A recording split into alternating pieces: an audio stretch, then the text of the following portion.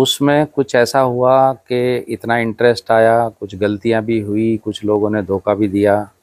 तो करते करते उसमें लोगों को बताना शुरू किया तो लोग जुड़ते तो मुझे ऐसा लगा मुझसे एक किसान ने प्रश्न किया कि क्या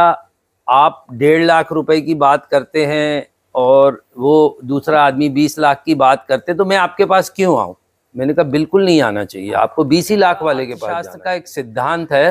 कि नकली मुद्रा जो है असली मुद्रा को चलन से बाहर कर कि काम में आप देखिए कि मौजो जैसे बैम्बू में मैंने सात साल में लगभग पाँच सात लाख रुपए खर्च किए और मैं सक्सेस नहीं हो पाया। लोगों ने मौजों के दो दो करोड़ के पौधे बेच दिए।